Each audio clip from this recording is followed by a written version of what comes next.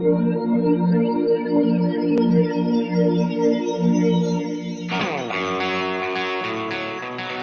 episode of In the Trenches is brought to you by System 12 Guitar Method. Sign up today at ryanroxie.com. In the Trenches with Ryan Roxie.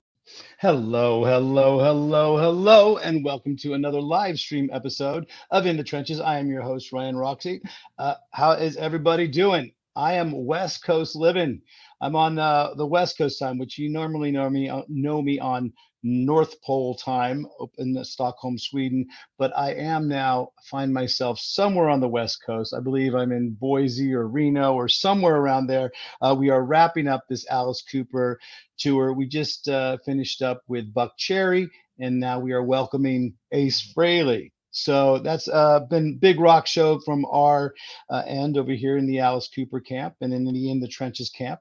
Thank you very much for listening to us on uh, Apple Podcasts or any of those other audio broadcasts. But you know what I'm going to say. You know where I want you. I want you here in our YouTube official channel. That's YouTube Ryan Roxie official.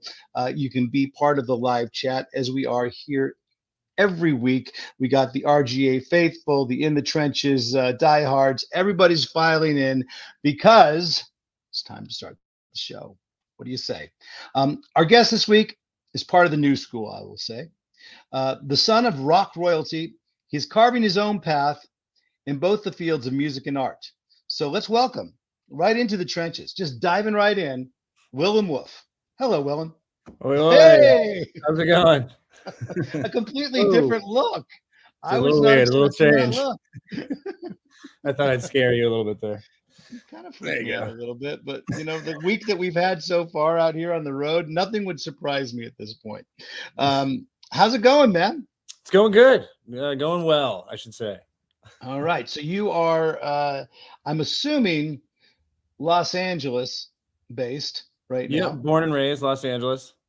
I love it. But with the name like Willem and uh, rock royalty, like we do have, I, I don't know if I want to spill the beans just yet, but I might as well just spill the beans um, because looks just what just just because of the uh, you know the bleach blonde hair, I can and then the facial structure. As soon as I say Billy Idol, there you go, uh, son son of uh, rock royalty. Oh, I like that. Billy Idol and uh, Perri Lister, and that is that's very. Now wait, were you just born with the snarl? I mean, right? I do it on the opposite. We do it on the opposite sides. Funny enough, it's you mirror each other. There it yeah, is. He does it on the left, and I can't do it on the left. So. Can you? Yeah, it's like winking on one eye or the other eye. right. It's just hilarious that, of course, we're we're opposites, but yeah, we can both do it anyway. well, it's maybe it has something to do with the way it curves to the left or to the right. We don't know. Yeah, yeah, yeah, exactly. Maybe if I was born in Australia, you know, I might be going the other way. You know. You know what? You weren't born in Australia, but no. you have you always been uh, West Coast and uh, Los Angeles based? Yeah, you know, um, as a little kid would go back and forth from England uh, because that's where all of our family was, you know. Oh my God, yeah. these photos! This is too much. That's really yeah. Yeah, it's a little bit like this is your life. Or, I love it. I know that's just my, my mom and I, I, when I was little. That's very cute. Um, yeah, uh, you know, uh, w- would go back to England a lot growing up, just kind of in the summers and stuff like that. But always, uh, LA was always home, and um, so definitely always been LA based. And well, when you say that uh, as a little kid and uh, back in the day, I can only mean one thing. It's going back to get forward. And that's a little segment that we have. So why not do animation with it, huh, Vic?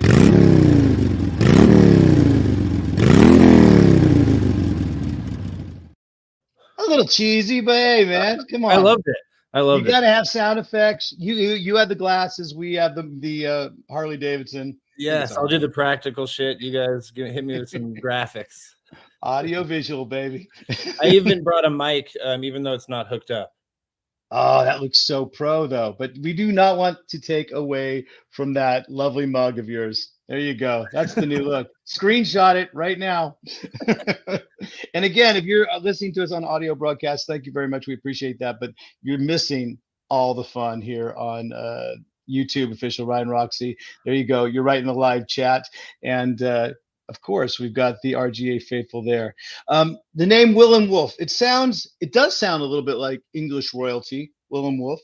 Um, is it come from a lineage of uh, has anything to do with your father's name, the name Willem? Right. Yeah. So, uh, you know, my father was William, and his father was William, and my mother just didn't want to have a William the third, and so and she liked Willem Dafoe, and so she kind of merged the two together, and uh, and then Willem Wolfe was born, and then she always called me Wolfie in her stomach, and so that became my my middle name. So Wolfie, I like Yeah. it. That's Wolf, but with an e at the end. Yeah, exactly. So that's very good. Well, your mom's always been a bit of a, a an iconoclast, you know, Yeah. uh, and Very she's uh, and and Uh, been underdog too. You know, she was uh you know, didn't didn't get what she was really due or something. You know what I mean?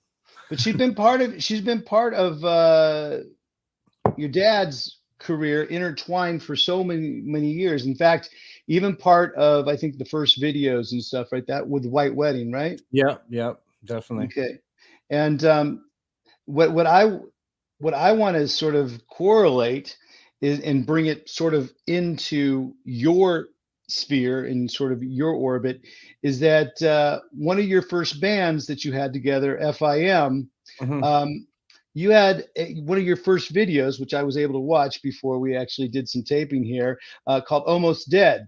yeah. Had had a bit of a white wedding video feel, and was it was that unconscious? Uh, was that conscious? I think they did it uh I think they probably did it a little bit on purpose. Um I think it was uh, if I'm not mistaken like god, I'm I'm really blanking, but it was like I think it was like Kenneth Anger's understudy or something like that that that did that video. Um, you know what? It's it's so messed up to say like that was a long time ago and I can't remember, but just on the spot right now, like shit.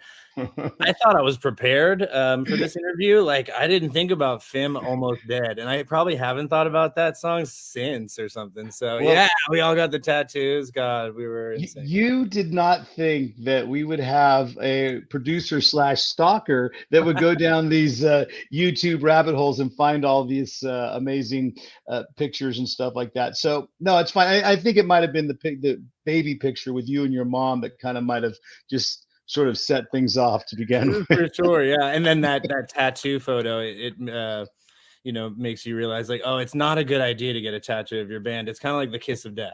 You know, really. Is it kind of like putting your girl, yeah, yeah, your, your girlfriend or your boyfriend's name when you tattoo? It's inevitable going Yeah. to break up. just stop? Just stop halfway through it. Just stop. Johnny Depp, you could have told that to Winona and Johnny Depp a, a- a- quite a while. And he might not be in court today. You never but know. you know what? Like I kind of dig it, even if you have a bad tattoo, like rock that bad tattoo in that time. Uh, instead of like getting it covered up, I don't understand that. I don't understand getting a tattoo removed or covered up, but that's worse. Like rock that that bad time in your life, you know? So you, you still you still have that as a as a feature piece, I would imagine. Exactly. Yeah, still there. Uh, you know, yeah, exactly. Let's talk about one of those first those early bands um, because you do have some friends that you've had for a long time that you had many different associated uh, bands with. FIM, the acronym right out of the gate, what does that stand for? So yeah, it was um I dated this Brazilian girl. Um shout out to Louisa. And uh at the time I was, you know, I don't know, 17, 18 and she had these Brazilian porno pamphlets and they were from the 50s or something like that. Um and they were cartoons.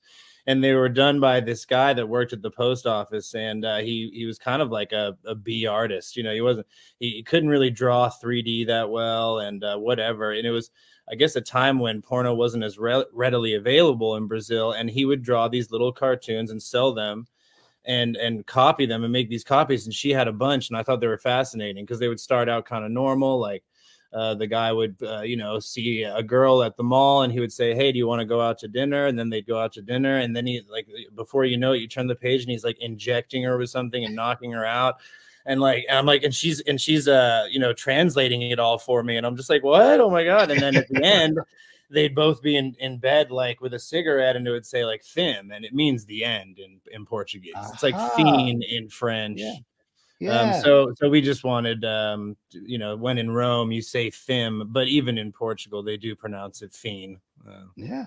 And there you go. Uh, they do speak Portuguese in Brazil. I love the whole thing. Yeah. We're international. And you did say it was going to be educational. You said it was going to be entertaining, but the podcast is also educational. You know, I can't help myself. I can't help it. uh, Vic, I am my, uh, my father's son. You know, he's a he's a total history buff and a, and a big dork, a big secret, uh, you know, uh, nerd. So does does Billy Idol watch a lot of the History Channel? Huh? I don't know about History Channel because that's probably you know doesn't have much history on it anymore. But like you know, he's a he's a real bookworm and um, and just a history buff, you know, for sure. Did that rub off on you? Obviously. Yeah, definitely. You know, um, reading and and just the the interest in in history and and stories and uh, things like that. You know, like okay, one time he let me skip school uh, and we watched the Zapruder film like over and over again. You know what I mean? So yeah, break it down. well, dude, that's JFK. You, you break it down frame by frame, down well, and like to the left. Documentary. It was some new down documentary. And now every time I see my pops, I'm always like, "Oh, is there a new theory?" And he's like, "Oh, now it's it's the you know, there's always a new fucking theory." So. Hmm. All right. Well, you know what? The tinfoil hats, uh, you know, they are now very much in fashion. You know, yeah, the R, the so. RF yeah. blocking, the RF blocking, 5G blocking caps and cloaks are definitely in fashion right now. I'm telling you. Do you have them on your merch? Eh, not yet, but it's not a bad thing to brand. You know, Ryan Roxie tinfoil hats. That's kind of good.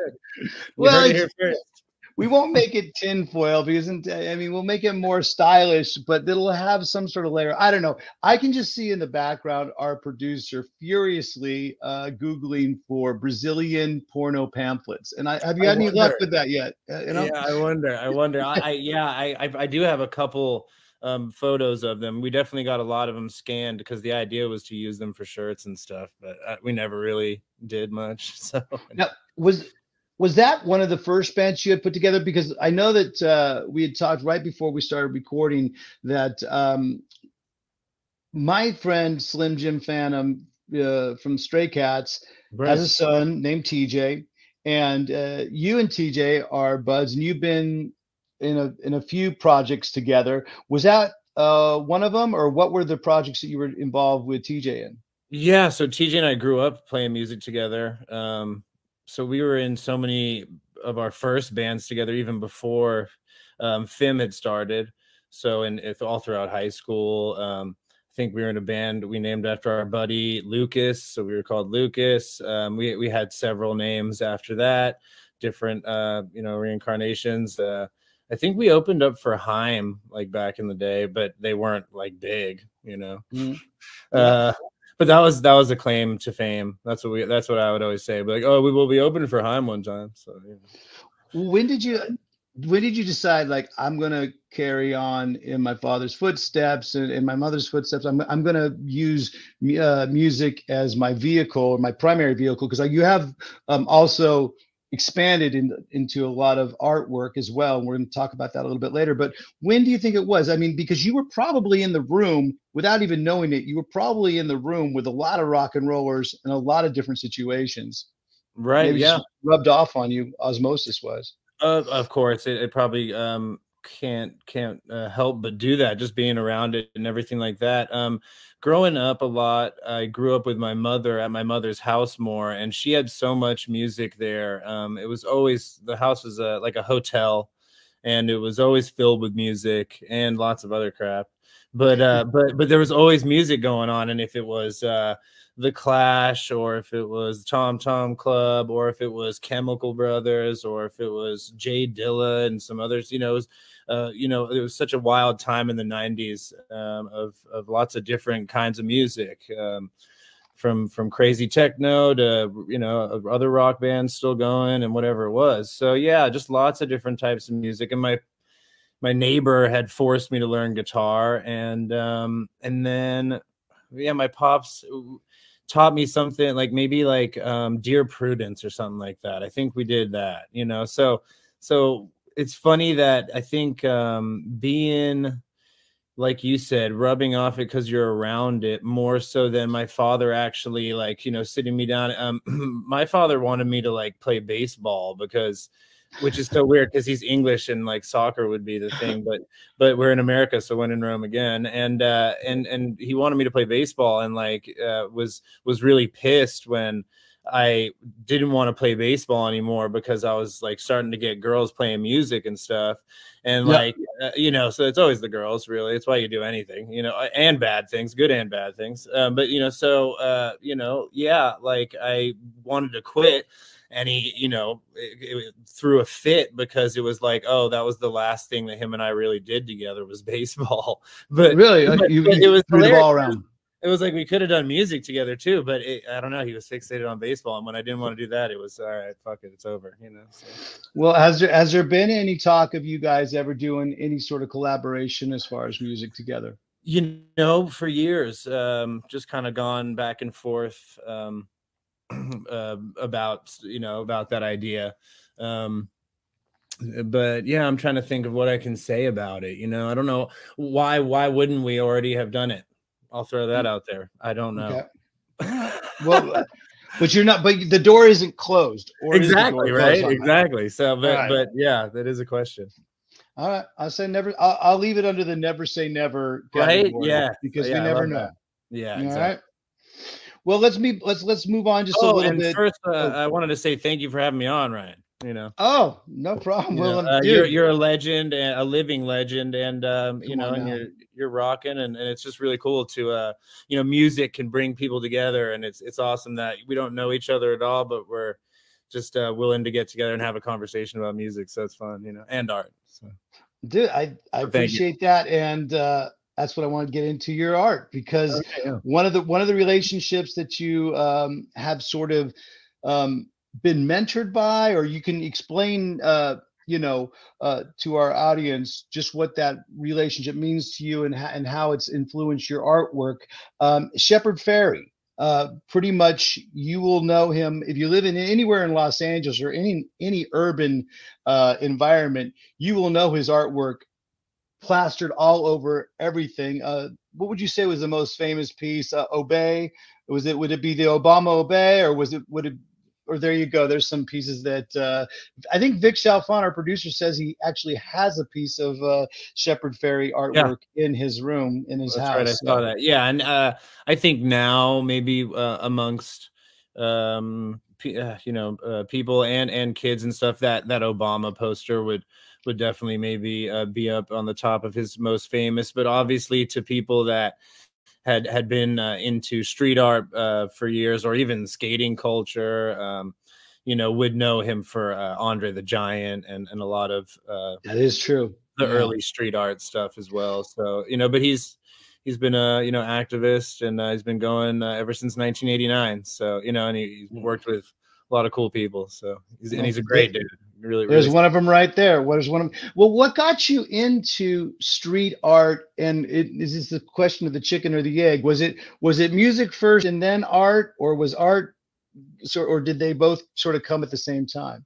Yeah, it's a, that is interesting. But I think for me, um, you know, you're growing up and you're you're drawing on your in class and uh, you know so i was always like an artistic kid um, and music and art was always kind of at the same time um, but definitely did music more um, and that's my buddy uh, ha- at happy algorithm who did that cover. That's for my gastric remoulade volume two right there. But uh, yeah uh, PD, uh, he's a dope artist and he, he does a lot of my uh, covers and stuff. But yeah you know um, so yeah drawing uh, growing up and um, I think uh, music was way more my outlet. And then uh, I think I read 1984 and 9 11 had happened and um, a few things. I started learning about the Bilderberg group and started getting more political and wanted to and naively thought that uh, spray painting Henry Kissinger around Los Angeles with Bilderberg written underneath it would like change the world, you know. So I wanted to change ex- the world. Ex- explain that. Is, is was that was that you that did that? Yeah, I mean, yeah. So I was I, I, went around LA for for a little while, spray painting Henry Kissinger and Bilderberg underneath, but never really took off. And and and also I just didn't uh, give it enough time. You know, it takes a lot of energy and time, street art, to really get something to stick. But uh, but yeah, I was just uh, kind of obsessed with uh, the power structure of the world. You know, I was turning 18, 19 years old and thinking about um, reality more and uh, and growing and growing up in the city and just seeing uh, life uh, really wealthy people right next to really uh, you know completely homeless with nothing um, all side by side simultaneously 24 hours a day so yeah. and, and you're uh, seeing it more and more every uh, especially on this tour Willem that I'm on right now with As we we just hit the north uh, west so we hit Portland Seattle and now we're we're heading down to Los Angeles in in just about a week or so. But uh, the thing is, the disparity of between wealth and poverty uh, you're seeing in the in the uh, cities probably. It, maybe it's all cyclical, but I haven't seen it in my lifetime with this much. right, because they said like LA hasn't been this bad since like the 80s crack yeah. epidemic but then you actually look at it and because of population and everything this is like 10 times worse than the 80s crack epidemic like the the the the, the homeless is like you know normal areas in hollywood just under every uh, you know freeway pass there's like these little tent cities and uh, if that mm. doesn't show you that uh, we're not m- managing resources properly and we're not caring about humanity uh, you know, I don't know where this money's going. Oh, wait, like any good detective, you just follow the money. It's going to the DOD.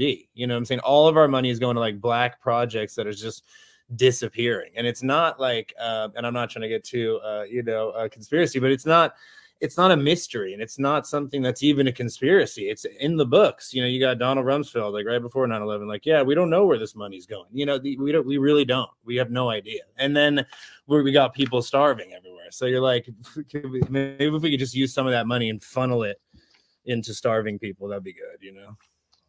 Uh, you know what? It starts somewhere. It starts with action. It starts with some sort, maybe it starts with some kid you know, spray painting Henry Kissinger all around Los know. Angeles, sparking That's awareness because now you already have some very um, structured ideas about what you and how you want to change things. Um, I'm wondering how yeah. w- when Shepard, hey, there it is. Vic's yeah. found it. Um, when Shepard came around, uh, Shepard Fairey to and and I don't know if using the word mentoring is right, but when he yeah. when you guys struck up your your relationship, did he, he approach you? You approach him? How did that all work out? Yeah, so um, uh, so I met him when I was a little kid. Uh, definitely when he had worked on my pops's album cover and tour. I think it was the best of greatest hits, something like that. And the uh, album cover that Vic put up. Yeah, I think it was yeah, the album cover that Vic just put up. Right. Yeah. And then like years later, it was his birthday, and uh, my pop said, "Hey, do you want to go to Shepard's birthday?" And I said, "Yeah." And I I pulled what I call a Bernath, um, which is uh, my buddy who like really is good at showing his art to people. He just has it on his phone and shoves it in their face. And I I just basically did that to Shepard. I went up to him. I was like, "Hey, check this out." And he's like, "Whoa!" And uh, I didn't even realize it at the time, but he said, "You do exactly what I do. You collage and then you stencil on top of it." And I said, "Oh yeah, all right, that, that's cool." And he said, uh, "You would do really good apprenticing at my shop or at the at the studio." And so I kind of came in uh, someday in 2017, and then um, have steadily worked on and off for him, and uh, mainly, yeah, doing the murals and street art and stuff like that. Uh, and, what uh, do you call what do you call that thing that you do again? The uh, barrage, or bar- the, the the the the the move that you did to show him the artwork. Oh, it's a yeah, because my buddy's name's Bernath. It's a Bernath. Yeah, pulling a Bernath. A Bernath. Okay, yeah. cool. I'm, I'm I should start Bernathing. No, totally. Can... Yeah, just you're like, hey man, here's our new single, and you just sho- it, you shove your headphones on someone's head. You know. That's better, dude.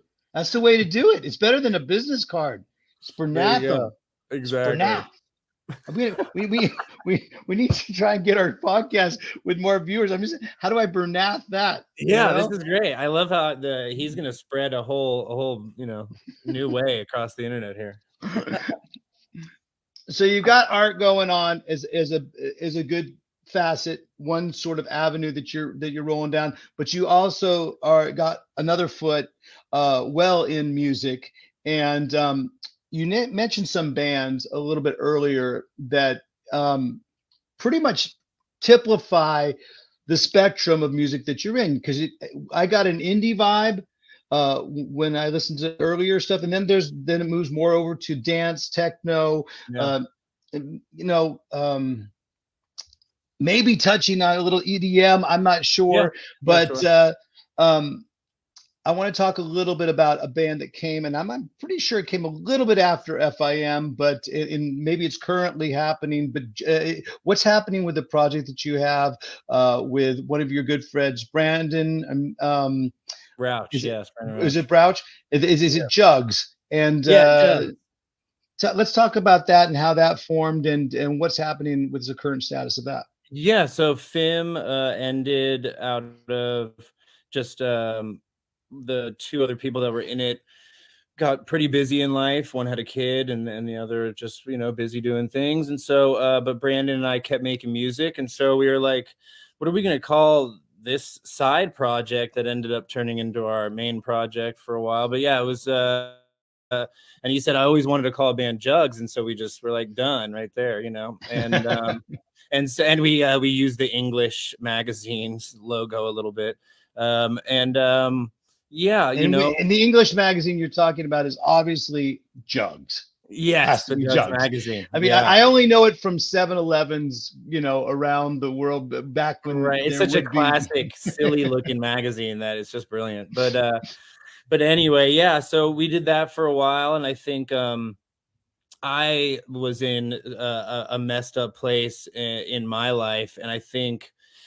i kind of just ended it really it, not even on purpose you know what i mean like he, he was just done working with me and it was actually like um trying to think if it's the words reasonable or or what but uh he he just didn't want to put up with me anymore i think that's a good way to put it uh Yeah.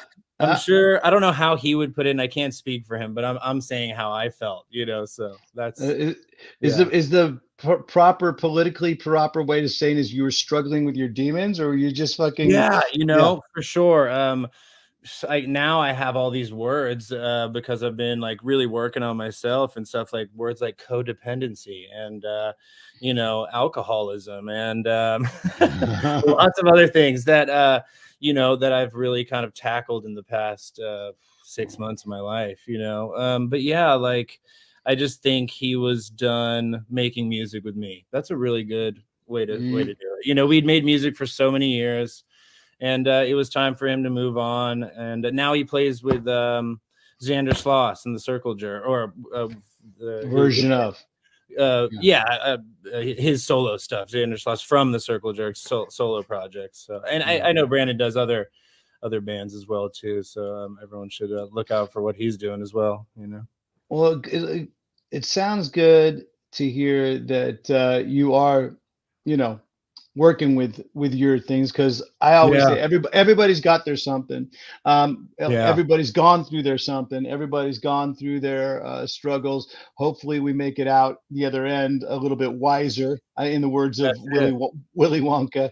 Yeah, I feel, hilarious. I, I feel that you know in the Gene Wilder Willy Wonka, obviously. yeah I yeah Feel, I feel that life is, is like a tour through the Wonka chocolate factory, and hopefully you make it out at the other end, maybe just a little bit wiser, and you might get that. you know that's brilliant because um you know i was reading a bit of jordan peterson and stuff and uh he Yeah. was talking about this russian writer stolitsyn whatever and he had gone through the gulags and seen horrible shit and still chose to instead of just be bitter and hate his life he chose to write a book and change the world for the better um s even though he had hitler and you know whoever else you know messing with his life uh so you know um uh, exactly you either choose to uh, do something about it or you can just sit and complain and curse existence itself which it just seems futile and uh, and uh, like a hamster wheel so Yeah. Well, Jordan's been on the podcast before. Uh, no we way Yeah, yeah. We were. That was one of my.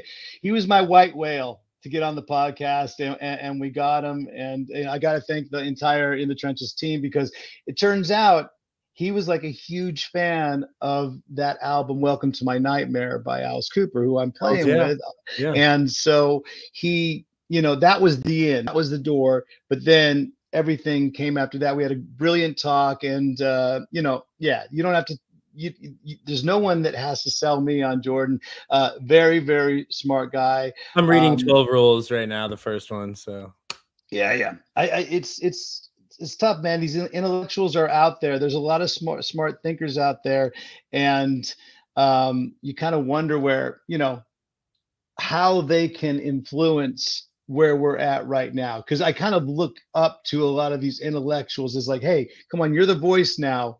How do we get certain things a little bit more in perspective? Because you all see what's going on in yeah. politics, and you see the you know family lineage leaning on and, and generation after generation just getting you know staying in there you know things like term limits on uh on congress and and and just just something that simple could clean out a lot of the mess but who knows yeah no i mean um i totally get you i, I think it starts with the people keeping their minds open you know i think everyone wants to be right instead of uh, just keeping your mind open. You know, the, there's a left and right paradigm, and it's totally to to uh, separate people because the we've the the greatest things humanity's ever done is when we came together, and so the way to not keep us together is by having a left and a right and everything, and so everyone's yeah.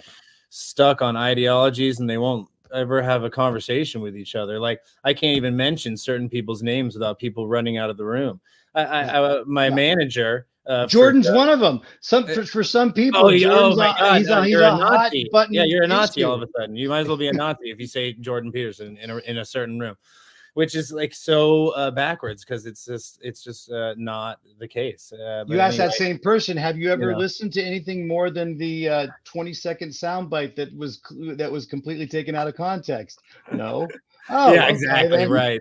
Yeah, sound bites are really good a way to judge people off of. But yeah, you know, like uh, a manager of Juggs, you know, um, I, I mentioned uh, David Icke or something, um, and it was all, you know, and I'm not going to get crazy on anything, but whatever. I mentioned David Icke, and he's like, "That's it. I can't even talk to you anymore." And I was like, "Fuck," you know, I can't even say a writer's name. And I know David Icke is a bit out there, sure, but I can't even say his name without, you know, a conversation yeah. being ended. You know. No, so. no, no. I I think that that whole lack of having an actual proper conversation, actual proper discourse is is is sorely missing. So I I do look up to guys. Um, who else? Um, Russell Brand I look yeah. up to him oh, because he's, he's, open to have the conversation, you yeah. know, and, he, and he's and looking at two sides of, of every story and stuff. So, I mean, but I was thinking, you know, keeping that mind open and stuff. Uh, two of your bands have been literally named after something to do with porno, FIM and uh, right, you know, right. pornographic institutions, whether yeah. whether it be Brazilian porno pamphlets or the iconic what what would be your next project do you think then right exactly that's funny um uh well i think the reason for that too is my dad uh pops always said uh, you you make music for girls you know because um you don't want a a, a bunch of dudes um only dudes at the show and if you make music for chicks, they'll bring their boyfriends, so there'll still be guys at the show. But it, it, guys will come, yeah, yeah. I, I think if, if and that's why uh, I never made dubstep or drum and bass but I like some drum and bass and dubstep, but it's just like all dudes at the show, you know? is that you at one of your earlier shows or is that? yeah, that's me at, at my, uh, I'll call that a house party. That's what I'll Literally a house party. I love it. Yeah.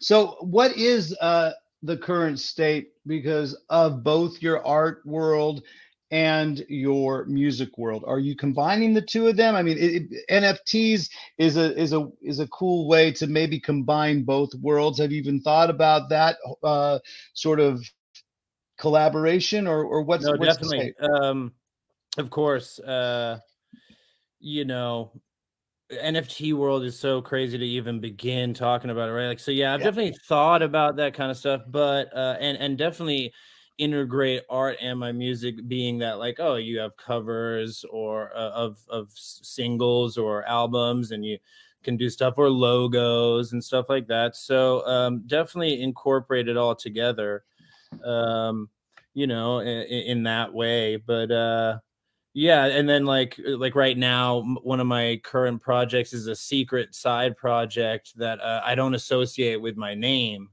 um, because I, I just don't want it to have anything to do with Billy Idol or or just you know just I want it to have its own world. Um, and so and that's getting some traction on YouTube on like some certain electronic kind of music channels and stuff. And so, like, I, I make videos for the releases of those tracks. Um, so the video but they, but they don't know the face be, they don't know the face behind the music. It's it's on on that project. But then i also make uh the videos for willem wolfe music. So it's you know kind of electronic uh yeah occupy space. That was an old uh single of a buddy and i stuff. And yeah that's it you know so photography um i definitely do a bit of that a bit of videography video editing a bit of artwork, uh, painting, yeah, um, a little bit of it all, I suppose. What is that? Uh, you know, jack of all trades, master of none. You know. Um, well, sure, but you know sure. what? I think with today's technology, you can get pretty close to being pretty damn good yeah, at if you just take a little bit of time yeah. and, and work on it. And it seems like you're doing that right now. Uh, we're going to take a little bit of time out and put a quick commercial break right in there because we do got to pay the bills one way or another. Yeah. Vic Chalfant, our um, illustrious producer, I'm going to give you the uh, honor of picking today's commercial. Hit it now. Come on. Hello, Roxie Guitar Army. For those of you that have been faithfully following the podcast, you may have noticed that recently I've been changing up my eyewear from week to week. And today we are happy to announce that CliC Eyewear is now an official sponsor of the In the Trenches podcast. They've even given us a special discount code that we can now pass on to our supporters. CliC has provided me with both readers and blue blocker protection eyewear that are durable, stylish, and convenient. What sets them apart from the rest of the reader world? The catch is in the click. They are the world's first magnetic reader, which makes them hard to lose and even harder to break. If you're interested in getting a pair or two of your own, check out the discount link located in the description. Never lose your readers again, because with CliC Eyewear, they're always around you. Now let's get back into the trenches and back to some more rock and roll. What the hell is on that guy's face? I, kind of, it's so weird when you have different types of beards. I, I actually just shaved just this last week, so I, I had been getting my, uh, you know, are you able to grow the full on thing? And have you ever? Or you just kind of I was talking about this the other day with a buddy of mine. Uh, my beard sucks. So does my dad's beard. We're not really beard people. I mean, it's all right. Mine's is better than my pops, and my chest hair is like way more than my pops. Like his is like kind of patchy and patchy and lame. But I mean, it's also like that's why he's always like you know uh, got the shaved chest thing going on, and he's uh, he's always had a better Mm. body than me. Like I think right now he's probably got a better body than me. You know what I mean? Fucked up. He's like fucking twice my age, and he looks better. You know, it's just wrong. does he work at it? Is, is he play? Is he playing a lot of baseball, or does he actually go? into yeah, yeah. I think uh, Pilates. I think that's the Oh, all right. 'cause all that's right. the way, you know, because it's less impact. You know what I mean? So Oh. Do you do you remember going on tour? Um, by the way, folks, thank Yeah. you uh, for coming back for uh, a little bit more of in the trenches. Uh, we have our guest Willem Wolfe, uh, musician, artist, and uh, you know what, political activist. I, I would say you're going to allow it. allow on it. You know, speak it. And uh, truth seeker. How about that? Yeah. You know? That's brilliant. you already know me. Like, look at that. Fucking 30 minutes. truth seeker. It's, it's it's my uh it's my secret weapon of what I do. awesome. But we're in the trenches. Um, join us on YouTube official, uh, Ryan Roxie official every single week. And um, well, you know what? We don't have an official guest next week book, but I have something in the works. That's why we're heading. Um, that's why we are actually uh, heading to end the tour in Los Angeles. Then I'll have a Los Angeles-based guest. Uh, folks, stay Nice. tuned for that. But uh, every week we have a fan of the week, and this week is no different. We have two weeks running in a row. We have Mr. Dean Staffieri as our fan of the week. So there, very quick shout out to Dean because next week will be very special. We'll have a brand new fan of the week. So two weeks running, Dean Staffieri. On Uh, again, there it is. now, uh, let's get into a couple of things uh, that might be corny, might be cool. I'm not sure um, because I've never asked anyone um, that has an art background and a music background about the one that got away. But you know, I Hmm. do this mostly because I feel that this animation has a little bit of a TJ vibe in it, your friend. So let's play the one that got away.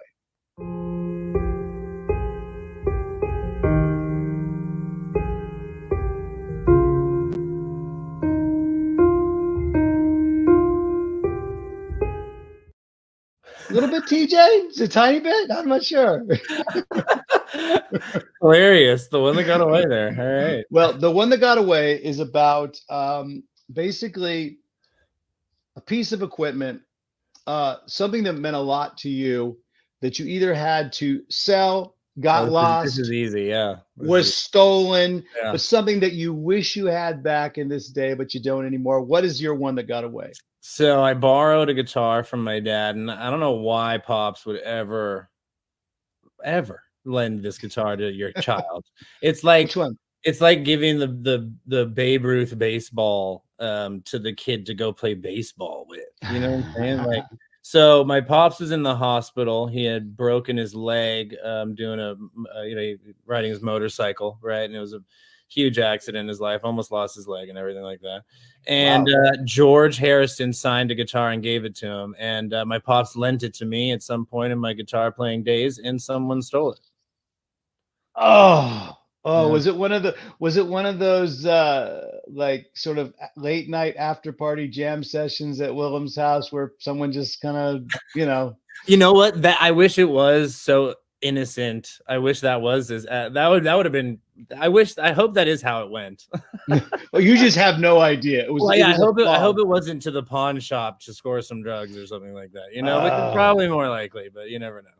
And what kind do you remember what kind of guitar it was? Was it acoustic? Uh, it was an electric? guitar and it had a really strange um it was basically a, like a white body but it had this like strange pattern of kind of collagey strangeness on it i really couldn't even tell you it was really weird guitar um kind of like a les paul junior body but anyway yeah, was George Harrison the Beatles signed sort it of signature? Yeah. Was it was it pretty really it be small. something okay so it could have been something that was just stolen and somebody oh yeah said, they "Hey," probably had no idea had no idea yeah probably had no Oh. idea so right now if you're if you're sitting there at your house and you and you have this little Les Paul Jr. type guitar, you might want to check it for any signatures that might be on it because that could be yeah Signed by a right Beatle, near, right owned by Billy uh, Idol, loaned to William Wolfe, and then lost off the planet. there you go well, there's But your one that got away. That's definitely that's definitely the one that got away for sure yeah I thought it was going to be some sort of spray paint stencil or something like that. It was like, man, like Kissinger stencil. Yeah, yeah. stuff. Oh man, you can make a stencil again. You know, you can't make that guitar again. You know. so. That is true. That is true. Do you remember? I mean, hold on one second. I usually pride people in telling them to take their their phones off and uh, not buzzing, but there it is. It's hard taking your own advice. Yeah. Oh man, that's what you get. That's what you get when you're at the Courtyard Marriott. When you're a popular guy. No, we're well, Yeah. we're working our way. Again, I told the folks in the live chat right now. Thanks for being a part of it each and every week. But we're working our way um, to end leg one of this tour, and then we're going out uh, in Europe, and we're starting in the UK in just uh in just uh, three or four weeks, and we'll be out there with the Cult. So that'll be uh, Alice Cooper and the Cult, and then all across Europe um, with other bands. Ha- have you been able to go out on tour yet uh, with any of the bands that you're in? Are you looking forward to that? Is it something that you'd want to do? yeah, I suppose. Yeah, I mean, um, we've done small stints. We went to South by uh, stuff like that, but um, you know, never did like a full American leg or anything like that. I've done it uh, as a kid with my pops. You know, working on the, you know, with with the with the rest of the crew. But um, So yeah, your dad, you so your dad got you hired in on the crew. What did you do? And uh, because I'm always curious about that, because I remember uh, we toured with Motley Crue for uh, for a while, and Mick Mars had his son doing guitar teching. right. What, what what was your job? Yeah, it was cool. I did a little bit of everything. Like, so one show I would do guitar teching, next show I do front of house. Uh, I did like a little bit of each, you know, and just kind of uh, exactly uh, just watched and and helped out in any way I could. But it was more to learn each little little bit. And then uh, I think shortly after that, I started working at uh, the Village Recorder when I was about 19, which is a studio in LA. Oh, yeah, I know that Mhm. place. Yeah, Village Recorder, and uh, worked for yeah, I was worked there for Jeff Greenberg um, for like maybe a year and a bit, and then um, and then yeah, uh, that was definitely another learning, you know, um, learning uh, time of my life of uh, all this gear and knowledge and uh, producing and uh, you know just I mean I was a, I was a runner at the village but I getting coffee but you still learned a lot you know so. Yeah.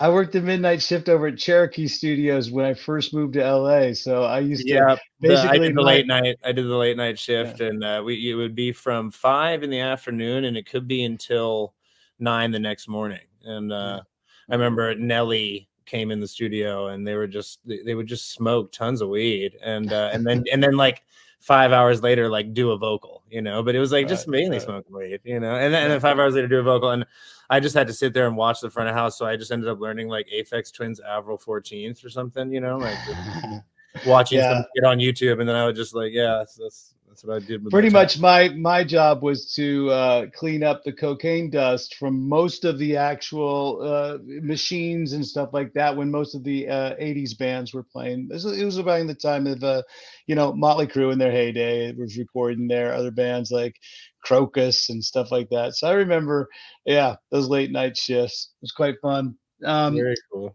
question uh being that you both uh that you have parents that are both uh considered rock royalty i would say you know your dad and your mom uh both have uh pretty big notoriety being a child of uh famous people blessing or a curse Yeah, it's a, I love this one because, um, and obviously, I think everything's yin and yang, so it's a bit of both. Um, Yep.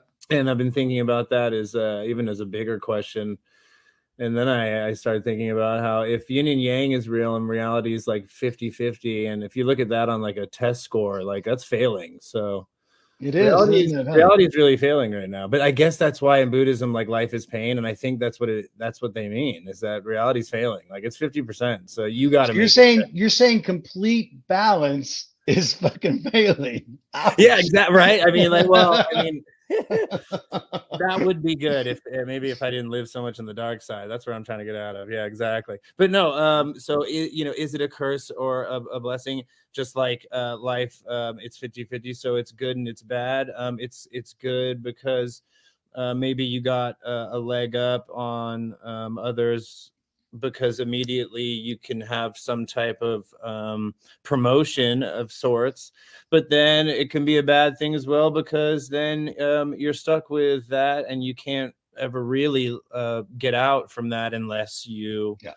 you kind of do a secret thing you know because uh, humanity is funny and and i, I don't even uh, blame it um, uh, for being like this but you know we can't help but um, you know uh, want to know want to know exactly and want to know the the story behind an artist and um and then after that associate them in a in a different way once you find out whatever you found out about them if it's if their parents somebody if they're something else whatever it is you know so everyone wants to hear this story right. Yeah yeah and i feel like um that's fine but i also feel like art can be um taint, tainted with uh, too much uh, politics and stuff and art is just that. It's just something to be observed and to enjoy or to hate you know whatever it is. But uh you know it's it's it's just something to created to to be observed. So uh, you know beyond that it's it's all just um a game beyond the i love creating art and i love making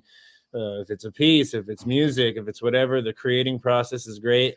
Then selling it and you're the son of someone or you're not, or who are you, or do you look cool? What kind of pants do you wear? Do you wear eyeliner? Do you wear tight shirts? Are you gay? Are you straight? Are you trans? Are you this? Are you they? What pronouns do you use? For God forbid you use the wrong one, uh, you know, whatever it is, you know? So, like, yeah, uh, you know, it, it's a, it, it, is it a blessing or a curse? It's both. Gotcha.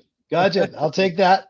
Hey, uh, Vic, you put up an art, a piece of art uh, that was on a circular thing. It had sort of a California vibe with a palm tree. That art right there. Now, you were saying earlier that uh, part of your, uh, a lot of your art, you have some buds do work on, but do you work on some of the artwork for your own stuff as well?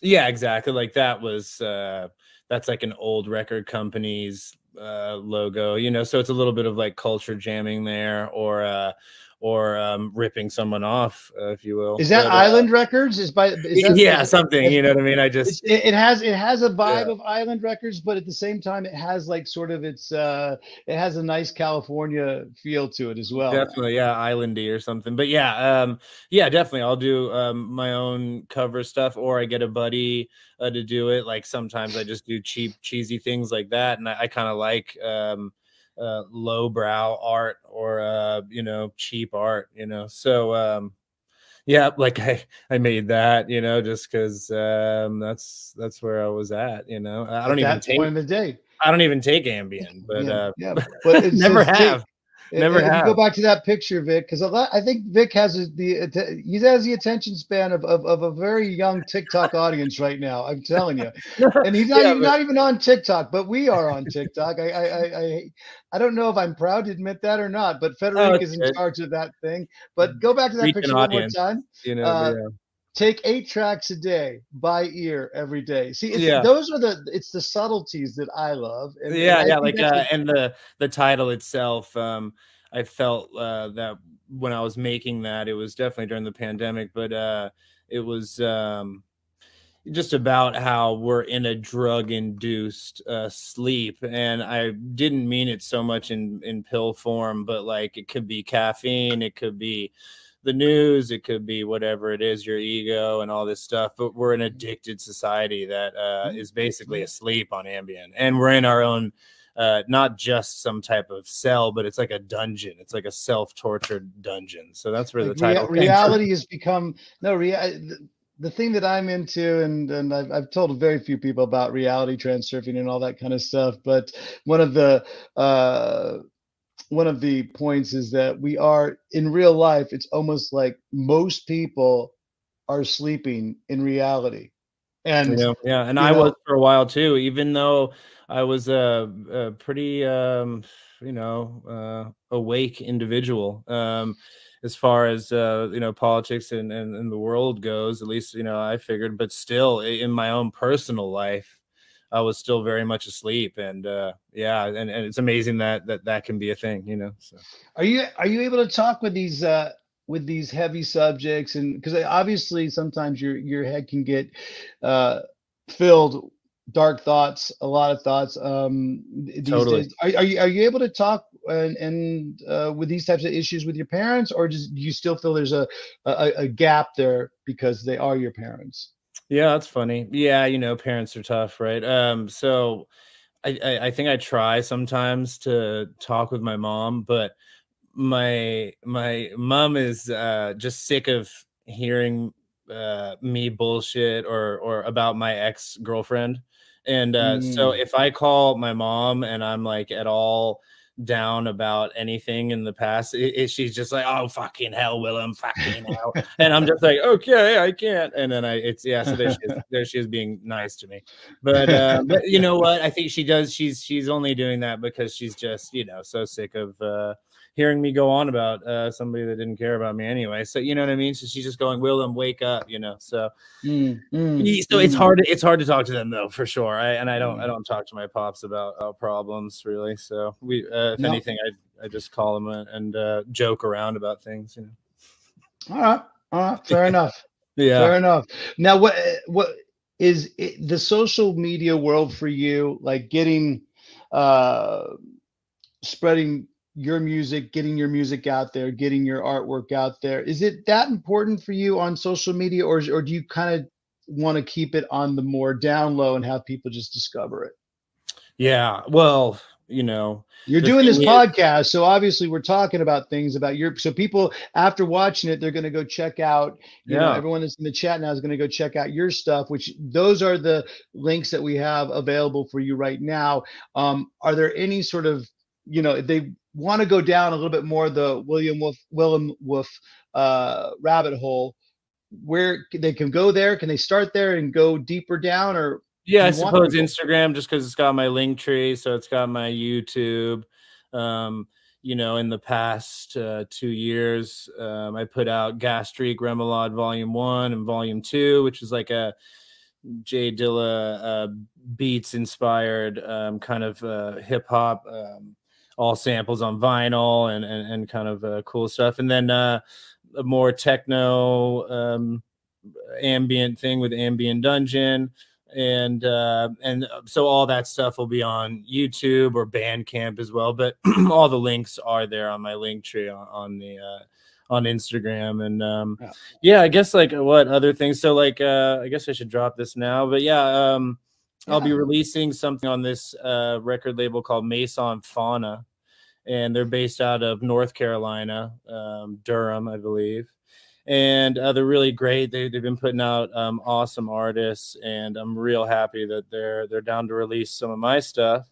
I've already released uh, one track um, that was off that Ambient Dungeon. Um, I think the track was Ambient Palooza. That was the one they released, and um, yeah, they we got a they have a festival they're putting together, which I believe um, will be in North Carolina called Slingshot Fest I think nice. I think there's two. I think there's one in May and one in October. I'm a bit hazy on um, exactly uh, the dates and stuff, but yeah, you know, just excited to be releasing stuff with them. And um, well, speaking of that, yeah, if yeah. you if you had your own choice, if you had if, if if if it was your sort of call to make for one of those days at, at Slingshot Festival or or, or Lollapalooza yeah. or any of those, and you could fit your bands in with some other bands, what would be sort of a great, you know, three or four band bill that you would like to see yourself on as well?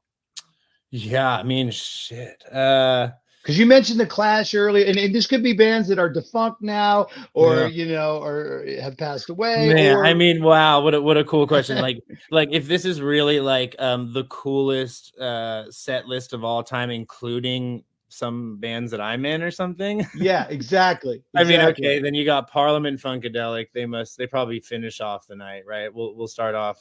We'll start yeah. backwards. We'll start backwards. They finish off sure. the night. Um, I mean, all Prince, night long. Yeah, Prince comes down from heaven and plays, dude, uh, we were... right before them. You know. Uh, we just got to see it. We just did a private tour of Paisley Park uh, on this tour. We were able to go there in and see the whole Paisley Park facility. Cool. It was it was such a cool experience. But yeah, wow. uh, Parliament. Prince is in there. Yeah, Prince. Uh, um, and then I, am in this new group right now, and I, I, did want to mention that with TJ. I got uh, TJ playing drums in it. It's kind of like alternative rock stuff. Um, it's really new um, but it's um, so we're just kind of getting it going. But it's called Drifter. That's D R I F T R. And I'm uh, trying to think. I'm trying to think of how pornograph pornography. Yeah, right. Yeah, Drifter.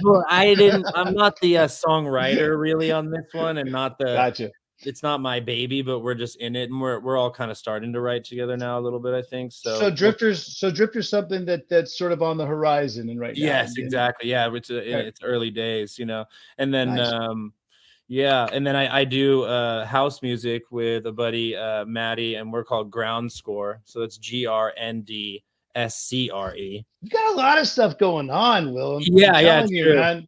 It's true. I, I, I spread myself thin, and then um also it's like part of my uh you know uh, ADD. Uh, you know I, I, I I always had it, and and you know they tried to shove me on like Ritalin, uh, basically giving me pharmaceutical speed as a young child and then right. uh, and then I like you know would throw that away and stopped uh, taking it. So just kind of like uh, pretended like I didn't have ADD for years. But then like recently, I'm like uh, you know I talked to people and I'm like no, you have severe ADD. I'm like oh okay.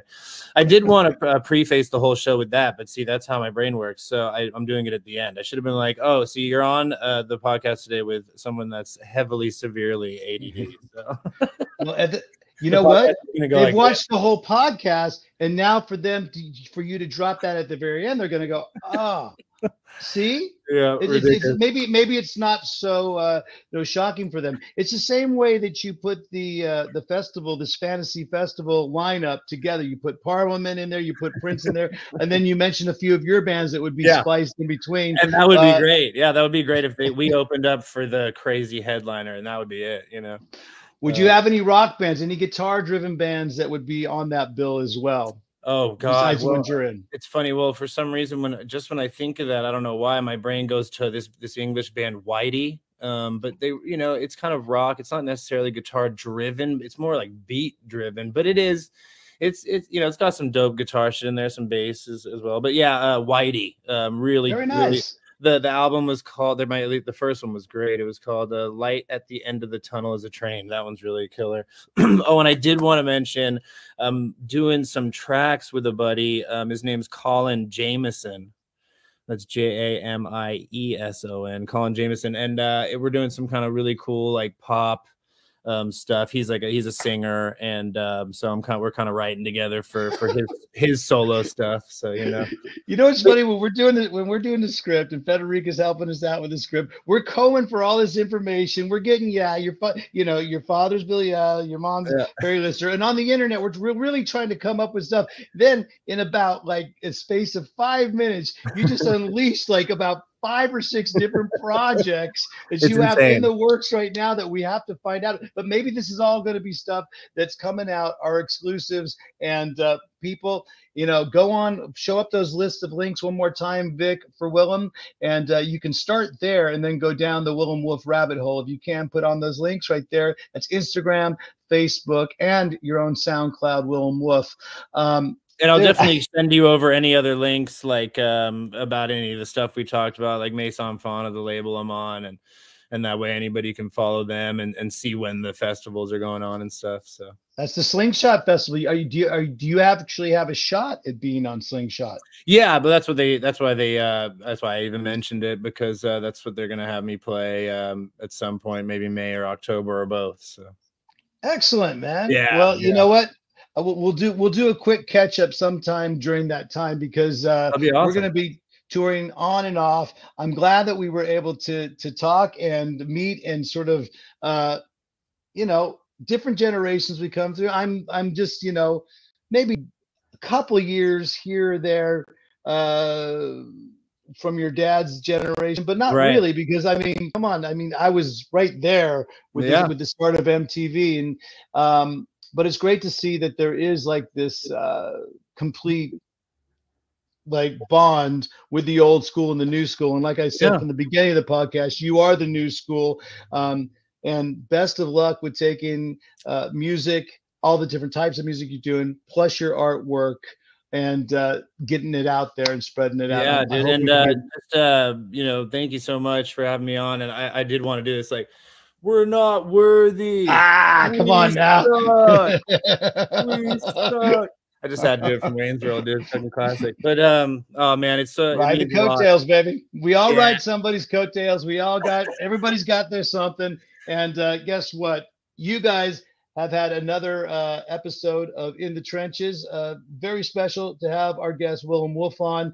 Um, I didn't know what to expect when we first came on, but uh, thank you very much, bud. Um, I guess like I'll end every single podcast, um, and I know that you're come from the new school, but uh, is there a quote maybe your dad gave you some advice that you'd like to pass on or even all the life experiences that you've been under Right, so yeah. far in life uh, maybe your mom Perri gave you some advice maybe your dad or maybe you just earned it on your own any uh, sort of life advice you can give on to our listeners You know, the classic. My mom just sent me this card, and I'll say I'll say two different. I'll say a quote from my mom, and then one from you know my pops. So my mom's would be uh, when one door uh, closes, another door opens, and then you might just get another door slammed in your face. That's what. and then my pops, uh, when asked when he was leaving rehab one time, Billy, Billy, what about your drug problem? And he said, What problem? I have the money now. So, there you go so that's what I'll end with. There.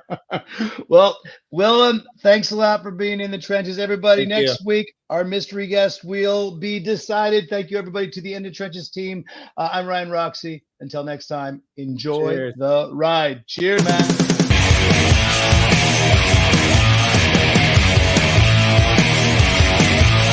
In the Trenches with Ryan